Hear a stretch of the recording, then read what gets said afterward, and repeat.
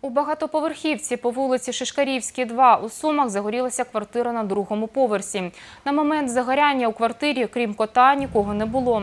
Його врятували, передавши згодом власникам. Погорільці говорити на камеру відмовились. Їхня сусідка з першого поверху сказала таке.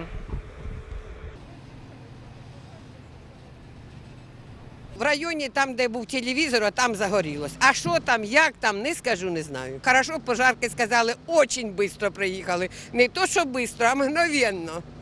Мене, звісно, трясло, чоловік кричить, бросай усе, воно нам не треба. Це горе. Горе для сім'ї, горе для квартирантів, горе для всіх.